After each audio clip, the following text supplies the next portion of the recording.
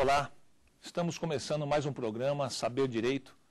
Meu nome é Antônio Minhoto, sou professor na área de Direito Público, Teoria Geral do Estado, Ciência Política e Direito Constitucional na Universidade Municipal de São Caetano do Sul.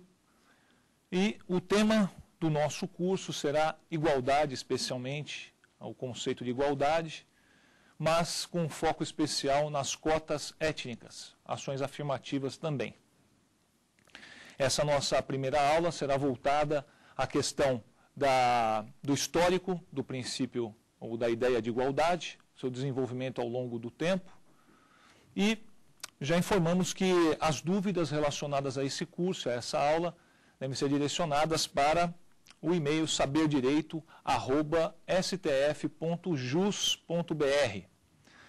Estamos aqui também uh, com os alunos Suelen, o Yarleys e a Ana Luísa, que vão nos acompanhar nessa aula, nessa jornada deste curso. Bom, a questão da igualdade talvez seja um dos temas mais polêmicos que suscitam maiores discussões desde sempre. E a igualdade, ou a ideia de igualdade, antes a gente fala do princípio da igualdade, mas a ideia em si da igualdade acompanha o homem desde sempre, desde suas origens. Então você tem uma, uma questão de que na natureza e na própria natureza humana você não tem uma igualdade de fato. Não há nem mesmo do, no mesmo indivíduo duas células que sejam iguais. Não há dois indivíduos que sejam, nem mesmo se forem gêmeos univitelinos, serão iguais. Podem ser muito similares, mas jamais iguais. Mesmo assim, a igualdade nos acompanha desde sempre. É, então, temos aí a questão do paradoxo da igualdade. Não existe uma igualdade, de fato, uma igualdade concreta, mas ela sempre foi, de alguma maneira, buscada, sempre foi, de alguma maneira, perseguida. É, a gente vê que, na questão do paradoxo da igualdade, quer dizer, existe mais desigualdade do que igualdade.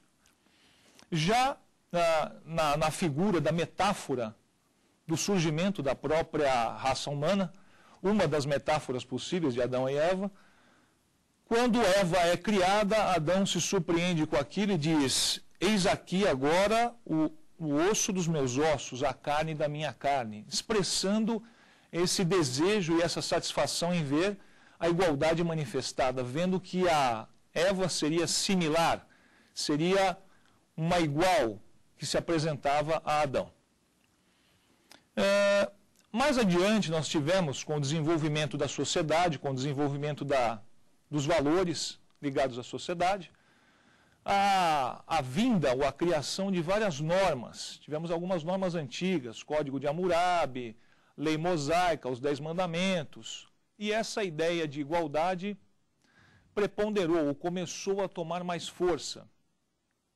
Então veja que as pessoas é, dizem né, essa questão da, da igualdade, da proporcionalidade, por exemplo, em relação a uma expressão bastante cara dentro do direito, que é a lei de Talião. Aliás, Talião não foi nenhuma pessoa, nenhuma estrutura, é simplesmente a, a forma como a norma é disposta, que existe uma proporcionalidade entre o que está, entre o mal que foi praticado e a punição correspondente. Isso é a lei de Talião. Talvez o exemplo mais conhecido, exemplo clássico a respeito da lei de Italião, seja justamente uma passagem do, do livro do Êxodo, que é um livro que é repleto de, vamos dizer assim, entre aspas, de dicas ou de conselhos, de orientações de como as pessoas deveriam se conduzir, no caso o povo judeu.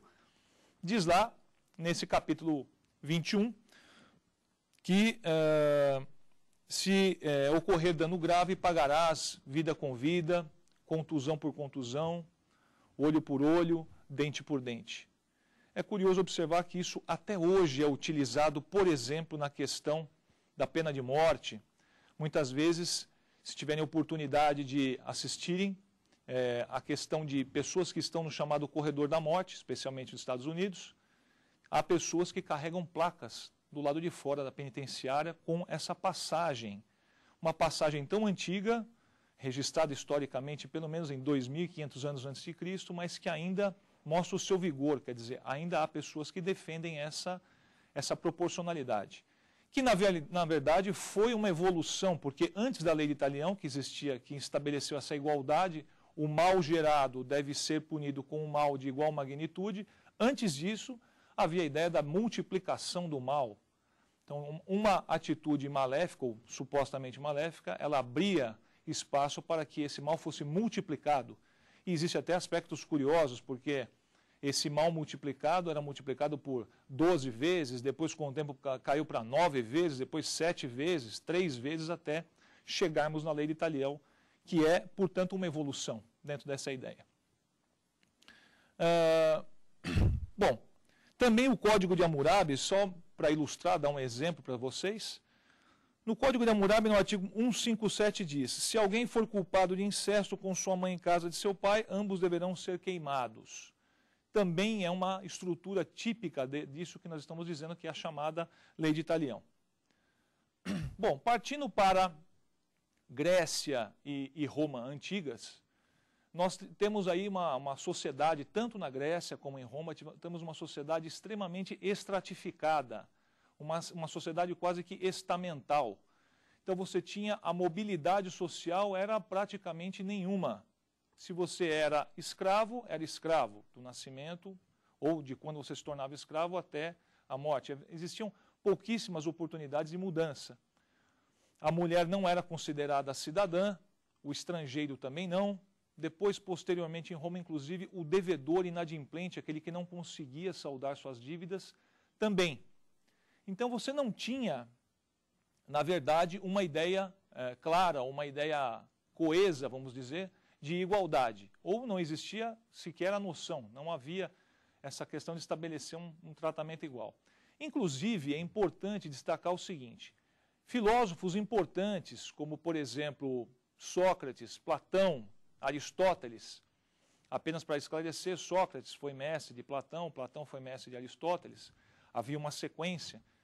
Todos eles é, viam a questão da igualdade de uma maneira muito reservada, de uma maneira muito com severas reservas. Aliás, Sócrates, mais do que todos os outros, do que, do que Platão e do que Aristóteles. Basta para isso lembrar que Sócrates foi um dos maiores críticos, o crítico ferrenho da democracia, que se baseava justamente na igualdade. Sócrates dizia que era um verdadeiro absurdo, total e completo, era inaceitável que você pudesse, no, na Ágora, que era aquela praça onde se deliberavam as questões relativas às cidades. Não, não, podemos esquecer que na Grécia eram cidades-estados, cada cidade tinha sua organização, organização administrativa, jurídica, social. Ele dizia que era um absurdo que você pudesse, num mesmo espaço, dar o mesmo peso à manifestação de alguém que não tinha nenhum esclarecimento com a manifestação de alguém que era muito mais preparado. Então ele era totalmente contrário à questão da igualdade. Também, eh, próprio Aristóteles, Sócrates chegou até a cumprir pena por ostracismo, ou seja, ficou alijado do convívio social por 10 anos. Tal era a gravidade das críticas que ele fazia à democracia. Mas Aristóteles, que é, foi discípulo de Platão, estava na mesma linha, ele tem um, texto que é bem interessante, que eu gostaria de ler para vocês, sobre democracia. Ele também critica. Vejam que interessante, ele coloca, na democracia Tendo o povo sacudido o jugo da lei, quer governar só e se torna déspota. Seu governo não difere em nada da tirania. Os bajuladores são honrados, os homens de bem sujeitados. Nesse caos, tudo é governado pelos decretos do dia, não sendo então nem universal e nem perpétua nenhuma medida. É até interessante porque ele está falando sobre democracia. Fica a reflexão: será que esse contexto se aplicaria para os dias atuais? Tem algumas passagens aqui que fazem, nos levam à reflexão sobre a sua atualidade. De qualquer maneira, é, Aristóteles era defensor ainda dessa questão da classista. E até dizia que os estrangeiros e os escravos não são cidadãos, mas simplesmente habitantes. Como também dizia em relação às mulheres, que eram consideradas, na verdade, até podemos dizer assim de uma maneira um pouco forte, mas é a realidade, seres de segunda classe. Não eram considerados cidadãos, não poderiam decidir sobre os rumos das suas próprias vidas e nem poderiam, mais do que isso, participar da vida social e política daquela cidade-estado. Isso também é importante para nós é, identificarmos essa questão da, da participação. No passado, Grécia e Roma Antiga, especialmente Roma, ser livre era ser basicamente cidadão. E cidadão era aquele que podia participar da vida social e da vida política. É uma noção de liberdade diferente do que nós temos hoje, diferente do que foi desenvolvido posteriormente, que é uma liberdade individual, liberdade de se autodeterminar, uma, uma questão muito mais individualista que naquela época não existia. De qualquer maneira, vejam que interessante que Aristóteles, inspirado nas ideias de Pitágoras, que veio bem antes dele, pelo menos 400 anos antes de, de Aristóteles, ele cunhou uma, uma ideia que nos acompanha até hoje, que é dizer que a justiça é tratar desigualmente os desiguais. Ele trazia, portanto, essa ideia da proporcionalidade. Vejam que interessante isso vir já na época de Aristóteles, já na Grécia Antiga. Justiça é tra tratar desigualmente os desiguais. Há pessoas que até hoje acham que esse tema, que esse conceito vem de Rui Barbosa, que dizia que justiça é tratar desigualmente os desiguais na medida em que desigualam. Mas, na verdade, a inspiração é aristotélica, que, por sua vez, também tomou essa ideia inicial de Pitágoras. Portanto, existia ainda aí uma ideia ligada à, à questão uh, da igualdade ainda bastante incipiente naquela época, bastante inicial. Mas, nessa evolução histórica, nessa questão da igualdade, se nós é, rememorarmos historicamente, você tinha a questão, inclusive, da, dessa, dessa divisão é, social por povos também. Quer dizer, os povos não se misturavam ou não se não havia um intercurso num sentido cultural, num sentido muito menos ainda de organização, religioso. Havia a questão de cada, cada povo ter os seus deuses, ter a sua religiosidade. Na verdade, na Grécia Antiga existiam até a questão dos deuses, é, dos chamados lares, quer dizer, o, deus de cada, de cada casa. O pai era o chefe do culto, existia toda uma estratificação. Como eu disse agora há pouco, cada um desempenhava o seu papel, havia um papel claro a ser desempenhado por cada categoria social. E não havia uma mistura. É, ou era raro que isso acontecesse. Até que surge, vamos dizer, no quando Roma ainda era um império bastante forte, surge uma figura bastante interessante do ponto de vista político, não estamos aqui colocando nenhum aspecto religioso, que é a figura de Jesus Cristo. Por que, que é interessante dentro desse estudo da igualdade que nós estamos desenvolvendo com vocês? É importante pelo seguinte, Cristo, a par das ideias em si, como eu disse, não estamos aqui discutindo a questão da ideologia cristã puramente, o aspecto religioso, mas Cristo ele traz um elemento importante dentro de um contexto social, que é a questão de que ele veio trazer a mensagem, o que ele tinha a dizer, o que tinha a ensinar para todos. Ou seja, Cristo traz uma ideia de igualação para aquilo que ele está propondo. Então ele já não traz mais como, mais como existia no passado, quer dizer, os deuses romanos, os deuses gregos, o deus de Tebas, o deus de Atenas, já não, não havia mais essa, essa colocação. Ele já traz algo universal, uma universalização dessa questão do acesso àquele determinado conhecimento ou àquela proposta de ideias, aquele conjunto ideológico que ele trazia para ser proposto como modelo, como algo a ser seguido. Isso gera uma mudança bastante grande dentro daquela organização social. Inclusive é algo que causa espécie, que causa dificuldade de aceitação, dificuldade de entendimento dentro da, do próprio povo ao qual ele pertencia, o povo judeu. Não podemos nos esquecer que Cristo foi rechaçado, pelo menos inicialmente, é polêmico o tema, mas inicialmente pelos próprios judeus. Ele foi levado à frente do sinédrio. E uma das coisas que foi colocado é essa questão de que, bom, mas como é que nós vamos fazer como é que o senhor vem propor algo que é para todos? Quer dizer que o romano também pode usufruir disso? Ou qualquer outro povo? Sim. A resposta dele era essa: todos podem, todos que quiserem podem acessar isso. Então ele representa uma mudança bastante pronunciada dentro daquela estrutura social. Essa mudança que, que Cristo traz, politicamente, ela não pode ser colocada simplesmente no, no, no plano religioso ou simplesmente no plano moral, porque realmente causou mudanças sensíveis na concepção da sociedade que pode não ter aparecido naquele momento, mas depois foi bastante importante. Gerou consequências, gerou valores, princípios que depois foram é, muito mais, vamos dizer assim, valorizados do que na época em que ele trouxe essa ideia. Mas, de qualquer maneira, trouxe essa questão da, de você colocar uh, essa questão da igualdade, ou seja, de trazer os elementos, esse conhecimento para todos. E é interessante um autor comentando sobre essa questão, sobre essa mudança que houve com a vinda de Cristo, Fustel de Coulanges, tem um livro bastante conhecido, A Cidade Antiga, ele diz numa passagem: O estrangeiro já não profana o templo, já não mancha o sacrifício pela sua presença. O templo passou a estar aberto a quem, a quem quer que crê em Deus. Um Deus único, um Deus universal, um Deus para todos, que não tinha povo eleito e não distinguiria nem raças, nem famílias, nem estados.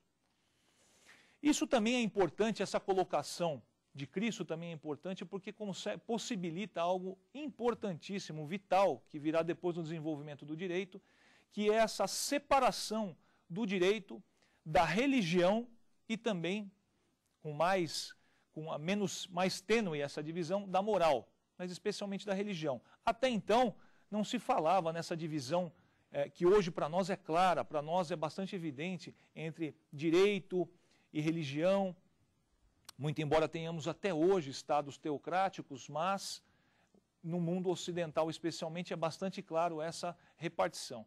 Quando Cristo, portanto, vem trazer a sua boa nova, inclusive a questão da, da passagem lá da moeda, né, dai a César o que é de César, ele faz essa, promove essa, essa divisão e deixa claramente, deixa um caminho aberto para que o direito possa construir-se como algo eminentemente humano, voltado para questões humanas. Claro que eu não estou aqui colocando que Cristo tenha dado toda essa estruturação, mas me parece que aí estava essa semente inicial, esse embrião do que seria esse direito já independente, autônomo, que é tão presente para nós nos dias de hoje. Hoje para nós é bastante claro, mas nessa construção ele foi algo que veio paulatinamente. Me parece que aí, nessa, nessa vinda de Cristo, nessa, nessa colocação, na forma de colocar suas ideias, ficou bastante claro para mim que estava aí o início dessa colocação.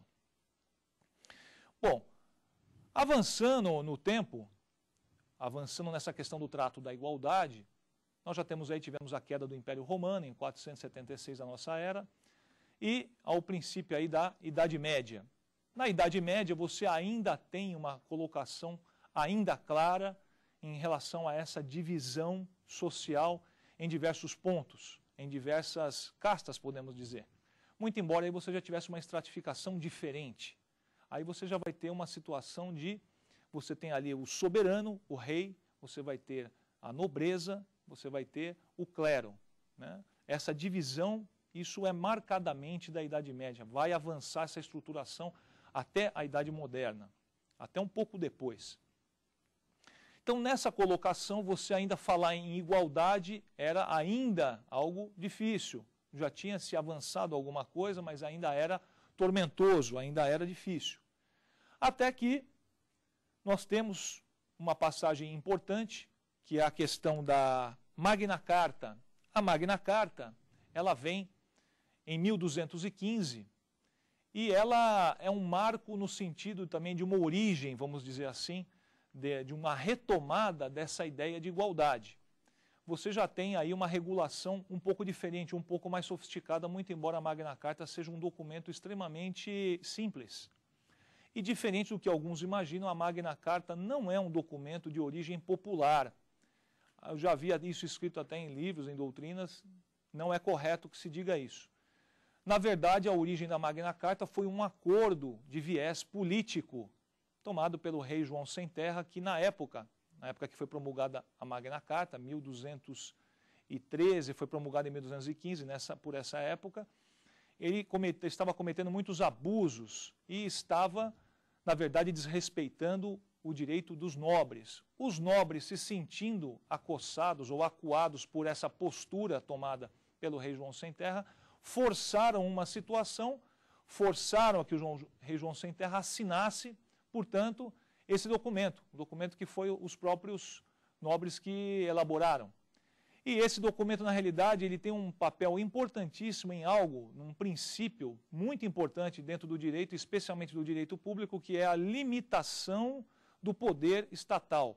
Eu diria que mais do que a questão dos aspectos de direitos humanos, que é importante, não estou dizendo que não seja, mas mais do que isso é essa questão, me parece que ali, na Magna Carta, surgiu a questão da limitação do poder a ideia de que poderia existir um instrumento, no caso foi um documento confeccionado, poderia existir um instrumento que gerasse uma limitação ao exercício do poder político, no caso aí o poder exercido pelo rei. Essa limitação desse poder estatal, desse poder político, é, manifestado na Magna Carta, também se espraiou por direitos oferecidos às pessoas. Então veja, no artigo 40 da Magna Carta diz a ninguém iremos recusar ou retardar direito ou justiça. Veja que importante isso, quer dizer, o acesso à justiça já tinha lá a sua origem, ou já tinha lá a sua colocação inicial. Algo que é tão importante no nosso sistema atual, nos sistemas modernos, os estados modernos, tal como conhecemos hoje. Também isso influenciou para que posteriormente, em 1689, na chamada Bill of Rights inglesa, que veio antes da Bill of Rights uh, norte-americana, claro, a emenda quinta diz: os súditos têm direitos de apresentar petições ao rei, sendo ilegais as prisões e vexações de qualquer espécie que, de espécie que sofram por esta causa. Todos esses documentos, eles vieram nesse sentido inaugurado pela Magna Carta de criar uma limitação. Essa questão da igualdade ela vai surgindo de uma maneira, vamos dizer assim, quase que lateral, subsidiária. Você vai criando, na realidade, limites. Vejam que, por exemplo, em 1620 teve o Habeas Corpus Act. Por que, que o Habeas Corpus Act surgiu? Surgiu porque o rei havia trancafiado, literalmente, na torre, num, num dos seus castelos, dois de seus inimigos políticos. Trancafiou-os na torre e, ao ser questionado qual era a razão, qual era o motivo, ele disse: Eu não preciso dar motivo nenhum. Eu sou o rei, eles são desafetos políticos, vão ficar presos. Mas vão ficar presos até quando? Não há uma limitação. Quando eu achar que eu devo soltar, eu o soltarei. Isso gera uma situação de repulsa aquilo e dizer: bom, não podemos ficar à mercê desse tipo de situação. Então você tem essa criação, por exemplo, do Habeas Corpus Act, que vai justamente no sentido de garantir esse direito de ir e vir mas mais do que isso, repito, de limitar o poder e vejam que é uma ideia que existe até hoje. Recentemente aqui nós estamos ah, ao lado do STF, habeas corpus são impetrados continuamente. Talvez seja ah, um instrumento de proteção à liberdade, de proteção ao indivíduo, à integridade, do indivíduo mais antigo ou que se tem mais uso corrente há mais tempo, seja o habeas corpus. Então veja, Aí você tem a igualdade surgindo de uma maneira, como eu disse, subsidiária. Vai surgindo aos poucos essa noção de que você precisa dar um tratamento igualitário. Mas se você parar para pensar, essas normas que já surgem nessa Bill of Rights inglesa, 1689, muito antes, em 1215, na Magna Carta, já é uma forma de você dispensar um tratamento similar para pessoas que estejam naquela mesma situação. Isto é uma forma de igualdade, é uma forma de você igualar as pessoas que estão naquela mesma condição. Já em 1789, estamos dando um, estamos dando um salto histórico. Em 1789, nós temos a Declaração dos Direitos do Homem e do Cidadão, um documento extremamente conhecido, foi promulgado, foi elaborado ao final da Revolução Francesa de 1789, julho de 1789, e já no seu artigo 1 diz: os homens nasce, nascem e são livres e iguais em direitos. Aí você já tem definitivamente essa ideia bastante clara, bastante sedimentada nessa questão da igualdade. Aí já fica bastante claro. Ah, é óbvio que essa manifestação ela vem no bojo de todo um processo histórico que deságua não só na Revolução, como no próprio documento. Basta você pensar que, na época da Revolução, nós tínhamos o governo de Luís XV. O rei que o antecedeu, Luís XIV, ficou famoso como o Rei Sol. Se julgava realmente o centro das atenções. E ele cunhou a célebre frase, muito embora alguns historiadores dizem que não há registro concreto disso, mas entrou para a história como ele sendo o autor da frase, o Estado sou eu, ou l'état c'est moi. Você tinha uma situação em que não havia uma limitação tão clara ao poder. Lá em 1215, com a Magna Carta, vem esse, esse início, esse começo, mas nessa situação você ainda não está tão claro. Então você vai caminhando. E, com essa colocação, tentava-se, essa manifestação do Luís XIV gerou uma espécie de uma visão, de uma reação no sentido de que algo precisa ser feito, não podemos mais ficar submetidas a esse tipo de capricho, de fazer aquilo que o, de, que o rei imagina que deve ser feito sem levar absolutamente nada em, em relevância, nada em consequência. É feito simplesmente porque ele quer que seja assim.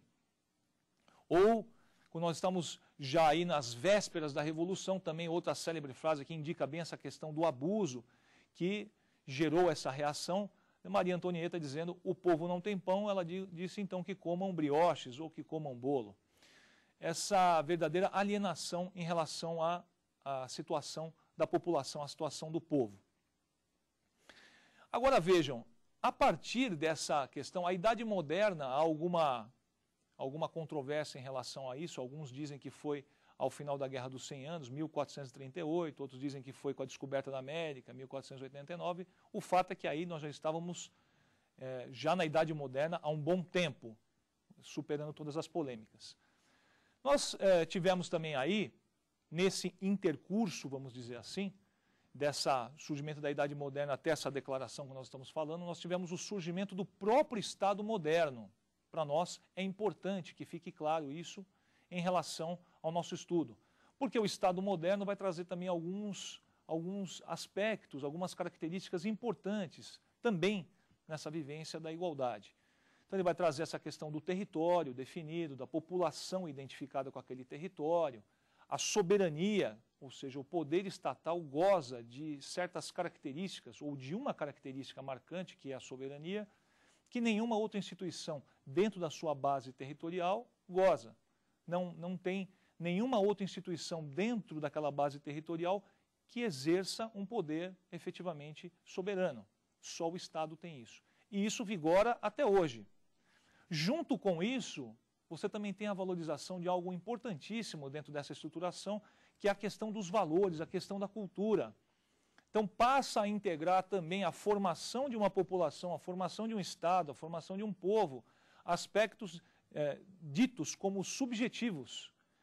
Então você vai ter questão da, dos costumes, a questão da moral, a questão da cultura, até mesmo a psicologia de cada povo. Isso vai gerar um diferencial que passa a ser levado em conta, passa a ter uma, um papel de destaque dentro da dinâmica da sociedade.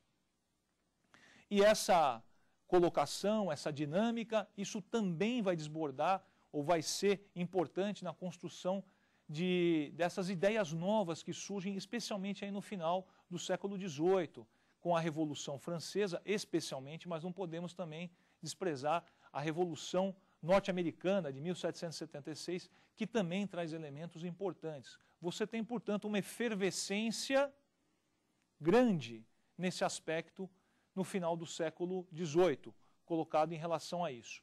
Já não se tolerava, portanto, né, essa questão de colocar o rei, especialmente a figura do rei, mas não só o rei, também o clero, a figura do Papa, que durante muito tempo disputou com o rei essa questão de saber quem era realmente de origem divina, porque, se vocês lembrarem, o rei era colocado como alguém que tinha o sangue azul, dizer, não era igual às demais pessoas, não era igual aos demais seres humanos, era especial, vamos dizer assim, se é que se pode dizer isso.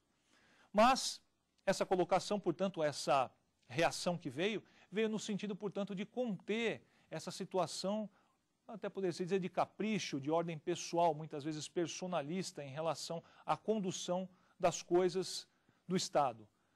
Coloca-se, portanto, frente a essa nova estruturação social, inclusive a, o que se costumou depois nominar de razões de Estado.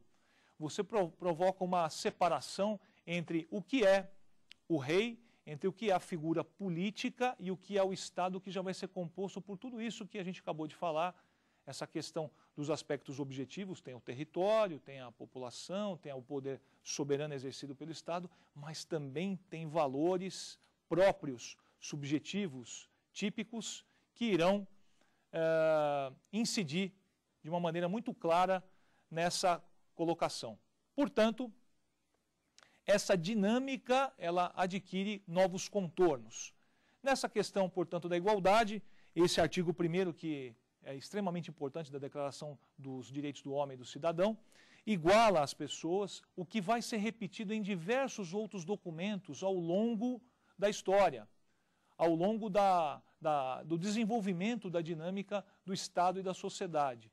A partir daí, você já tem uma situação muito mais clara no sentido de essa questão, esse princípio que eu falei lá no começo da Magna Carta, da limitação do poder, fica muito claro, fica translúcido e torna-se um aspecto essencial. Já não se tem mais como admitir que um poder possa ser exercido de maneira ilimitada, como vigorava no aspecto ou nos tempos do absolutismo. Isso já não é mais tolerado.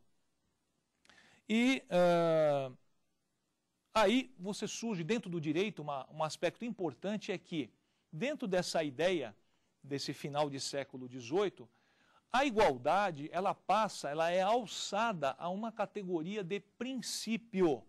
Até então não se falava nisso, não se falava em princípio a igualdade era uma ideia, era um conceito importante, mas não havia essa noção de princípio.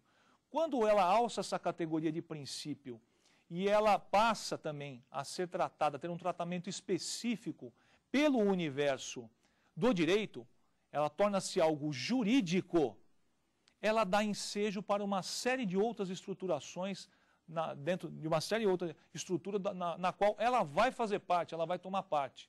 Então veja-se que a gente hoje em dia fala com bastante naturalidade do Estado de Direito.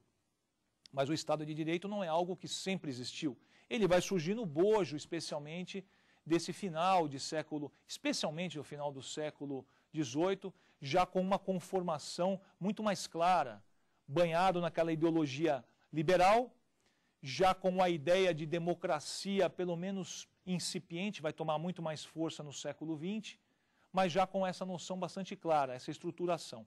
E o princípio aí da igualdade vai incidir com bastante força. Agora veja, uh, meus amigos, quando falamos de algo que é um princípio, isso é importante para você entender como aquela determinada manifestação, como aquela estrutura, qual é a dinâmica que ela segue, em que valores ela se funda, como ela vai se desenvolver. Isso para qualquer situação, não simplesmente o princípio da igualdade. Veja, se pegarmos a questão da, da estrutura militar, existe ali uma forma de funcionamento da estrutura militar, existem as patentes. Qual é o princípio que pode nortear tudo aquilo? A gente poderia destacar um princípio que norteia tudo aquilo. Poderíamos destacar, como numa estrutura militar, o princípio da hierarquia. Existe, portanto, uma estruturação ligada a isso. Quando uma, um, um tenente, por exemplo, pede para um soldado que vá para a frente de batalha, isso é, entra nessa, nessa faixa ou nessa estrutura de hierarquia. O soldado vai cumprir a ordem, porque alguém de uma patente mais alta está determinando que ele faça isso. Podemos pegar também a questão, por exemplo, do, dos, dos parlamentares, a sua atuação. O parlamentar, pelo menos eh, numa situação ideal, ele deve ter independência. Existe um princípio de autonomia de independência na manifestação das suas ideias. Ele deve ser alguém autônomo, que vai defender, idealmente, repito, a vontade popular ou daqueles que o elegeram, daqueles que o escolheram para exercer aquela função em nome de toda a população, dentro de uma estrutura estatal. Então, o princípio ele vem nessa estruturação justamente para te dar uma base, ou para fornecer a todos uma base de como é que aquilo se estrutura e como é que aquilo funciona, como é que a, dinâmica vai se dar, como é que essa dinâmica vai se manifestar. Hoje, é extremamente importante nas estruturações dos estados contemporâneos a questão dos princípios. Todas as constituições, praticamente, têm princípios na sua estruturação. Não se concebe mais que possa ser feito de outra maneira. E nós temos aí, portanto, quando você tem a estruturação do Estado de Direito, você passa a criar o quê? Já não há mais a vontade abstrata, a vontade subjetiva, personalista do rei. Essa vontade abstrata, personalista, que levou o Luís XIV a dizer o Estado sou eu, ela é substituída pelo Estado. E sendo esse Estado um Estado de direito, um Estado com uma estrutura, com um fundamento jurídico, aspectos jurídicos vão incidir aí. E dentro desses aspectos jurídicos, um aspecto muito importante é a lei. A lei passa a ocupar esse espaço de abstração. Onde antes existia a vontade pura do rei, que poderia fazer o que bem entendesse, no tempo do absolutismo, passa a entrar a, a lei, a norma. E essa lei gera uma mudança bastante grande. Por quê? Porque a lei ela é, primeiro, previamente conhecida sai de cena aquela questão do capricho do rei, que pode determinar aspectos de momento ou pode mudar a direção ó, quando quiser. A lei passa a cumprir esse papel de regulação e da, o que existia de abstração na vontade do rei passa a ser a vontade da lei. A lei passa a ser um instrumento de regulação da conduta por excelência. E a lei, ela traz em si, nela, na própria estruturação dela, ela traz a ideia de igualdade. Então você tem uma ideia de que a lei é para todos, ou seja, você já não tem mais a questão dos privilégios, de que alguns serão tratados de uma maneira, outros serão tratados de outra maneira. A lei traz essa ideia de que todos são iguais perante a lei. Nós temos hoje, no artigo 5 no caput, começa o texto dizendo: todos são iguais perante a lei. Esse princípio, que ficou conhecido como o princípio da isonomia, ele já traz, portanto, esse, essa ideia bastante importante do princípio da igualdade aplicado à manifestação do Estado. Todos são iguais perante a lei, e eu até poderia se dizer, todos são iguais perante o Estado, as manifestações do Estado. O Estado não pode promover nenhum tipo de discriminação no sentido de aplicação das suas manifestações, especialmente do aspecto normativo. Então, nasce o princípio da igualdade, vou destacar dois pontos importantes que eu já acabei de falar. Todos devem ser tratados do mesmo modo perante a lei, ou seja, a isonomia, e os cidadãos já não se submetem à vontade ou capricho de uns ou alguns, mas a uma vontade abstrata, geral, que vem manifestada na lei. Mais do que isso, também é importante destacar que a lei, também numa situação ideal, ela é elaborada por representantes da própria população. Portanto, a lei, numa situação ideal, ela carrega a vontade popular. Se isso realmente vai acontecer na prática, é uma outra questão para ser analisada. Mas o fato é que a lei, ela carrega essa vontade popular. Ela está manifestando anseios, valores, alvos a serem perseguidos ou que querem ser perseguidos pela, pela população. Numa situação ideal, portanto, a lei ela vai manifestar essa vontade. E ela vai gerar, ou deveria gerar perante essa população, uma situação que é buscada por toda a norma, eu até diria por todo governante né, que esteja à frente do Estado, que é a situação de obediência. Todos são igualados perante a norma, a norma não faz nenhuma distinção se vai beneficiar ou se não vai beneficiar esse ou aquele, ou como deveria ser, e ela iguala essa população iguala aos, cidadão, aos cidadãos na, na sua manifestação.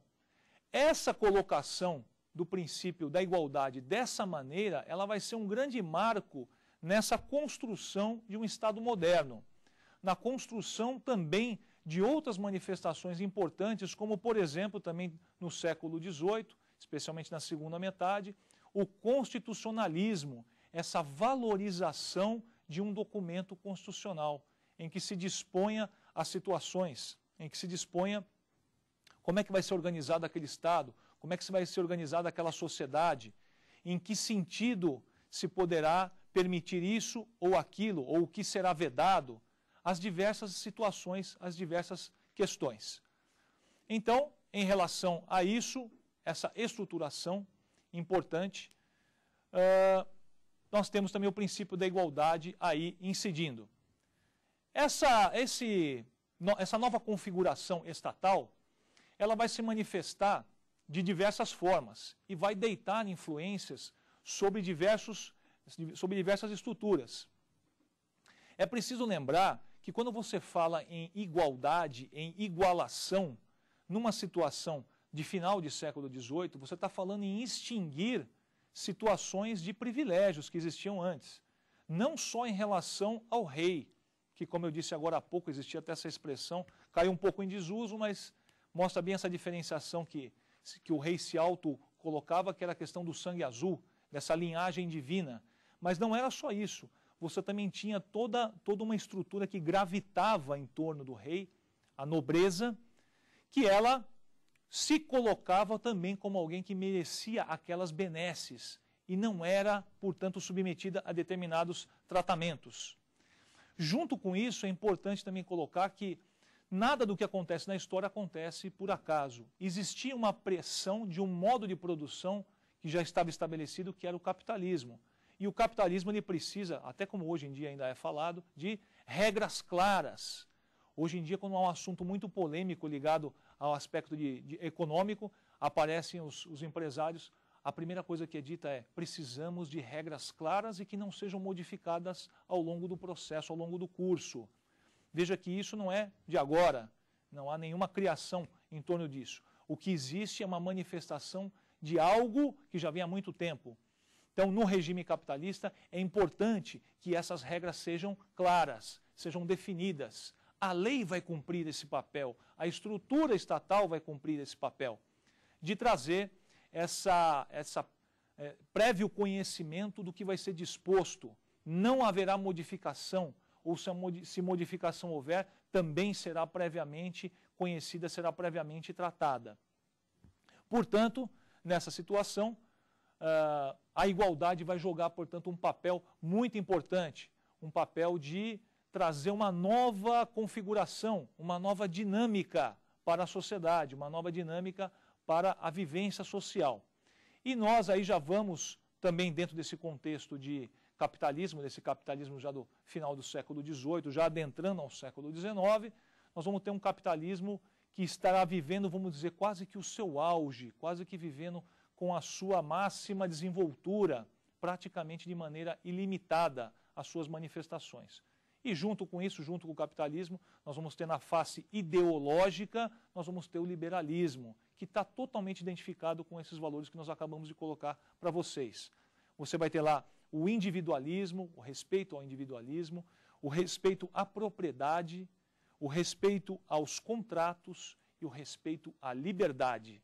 Esses quatro valores, pelo menos inicialmente, são os valores que vão marcar essa nova estruturação estatal, eu diria até essa nova estruturação social. E a igualdade vai estar dentro desse contexto como uma manifestação também importante. Então, dessa junção, você tem o capitalismo como modo de produção, você tem o liberalismo como essa face ideológica, você também vai ter essa questão da igualdade vindo aí junto. Todos são igualados perante a norma, todos são igualados perante a lei, deverão a ela se submeter, uma lei que tem uma produção ou que tem uma origem popular e, portanto, é razoável que dela se espere obediência daqueles que a inspiraram. Numa situação ideal, é exatamente o que vai acontecer, muito embora na prática a gente não veja isso acontecendo de uma maneira tão frequente, ou até pouco frequente. Mas a ideia é que até hoje é assim. A ideia é que uma norma criada, uma lei, desde que ela seja criada, ela seja acatada, ela seja obedecida de uma maneira espontânea, portanto, a uma submissão voluntária por parte da população. Portanto, nós temos aí essa construção desse princípio da igualdade já aí no século, no final do século XVIII. Ou seja, nós vamos entrar no século XIX já com essa construção definitivamente já arquitetada, já amalgamada, já claramente disposta. Também temos que pensar que essa estruturação veio como uma manifestação dessas revoluções, Revolução Norte-Americana, Revolução Francesa, e não necessariamente, é importante que se diga isso, não necessariamente manifestando os, posteriormente os valores que serviram de inspiração para os seus respectivos movimentos. Basta lembrar que a Revolução Francesa, baseada na igualdade, liberdade, fraternidade, não significa que o que veio depois, que a estruturação que veio depois do Estado francês tenha sido exatamente assim. Mas a inspiração foi essa. A inspiração foi de trazer é, essas bandeiras, essa igualdade, a liberdade, a fraternidade, foi o inspirador. Eu até diria que foi o que motivou o apoio popular. Né? A população, valendo-se naqueles valores tão caros, tão atraentes, ela se sentiu atraída por aquilo. Vamos para as perguntas agora dos alunos que compõem a nossa bancada. A igualdade se origina na moral? A igualdade, eu até diria o seguinte: a pergunta do colega, nosso querido aluno, é boa. Eu até diria que o direito se origina da moral. A igualdade, com certeza, tem uma inspiração calcada ou calçada na moral. Certamente que sim. Não significando que ela seja hoje, atualmente, um valor puramente moral. Não é. Um princípio que já foi juridicizado, vamos dizer assim, já tornou-se jurídico, não é o caso mas eu diria que a origem dela ela teve uma origem de fato moral, ou até diria uma, uma origem subjetiva, mas dentro desse contexto moral. O que levou a igualdade ao papel de destaque que ela passou a gozar na Idade Moderna? Eu diria que a, a igualdade ela teve esse papel de destaque porque ela representou uma mudança real, uma mudança concreta em relação ao modelo que vinha anteriormente, que era um modelo de absolutismo. Um modelo em que, como eu disse agora há pouco, o rei fazia ou poderia fazer, ou estaria apto a fazer, tudo aquilo que ele quisesse. Não havia nenhuma limitação. Portanto, quando você traz essa ideia de igualdade, é uma ideia realmente nova. Vejam que interessante, porque, como eu disse na, na minha explanação no começo especialmente, Cristo traz essa ideia de igualdade, mas isso só vai se manifestar entre nós como algo mais concreto, efetivo, muito tempo depois. Então, quando você tem essa passagem aí, final do século XVIII, esse princípio da igualdade ele vai ser algo lapidar, algo bastante marcante dentro dessa estrutura de Estado, nova estrutura de Estado, Estado moderno, e também dentro de uma nova concepção de sociedade.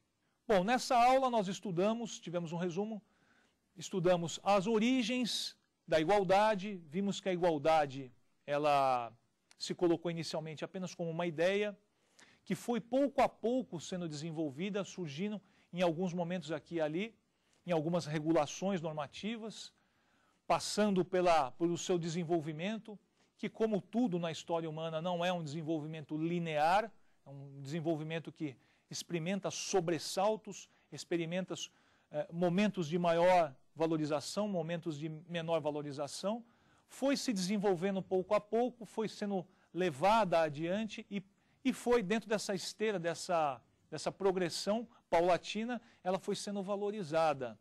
Até chegar, passando, portanto, aí por Grécia, passando por Roma, caminhando, final aí do Império Romano, começo da Idade Média, você tem Magna Carta, como eu coloquei, tem a Bill of Rights inglesa de 1689. Antes disso, até poderia colocar a questão do Habeas Corpus Act de 1620, até você chegar nesses movimentos do final do século XVIII, Revolução Norte-Americana, Revolução Francesa, que definitivamente colocaram a igualdade como um princípio fundamental, fundante desse Estado moderno e dessa nova sociedade que então se propunha.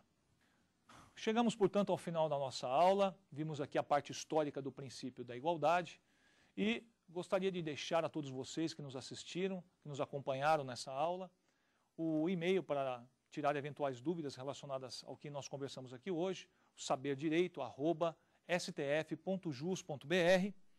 E quem quiser acompanhar todos, todos os programas da família Saber Direito, é só acessar o www.youtube.com barra Saber Direito Aula.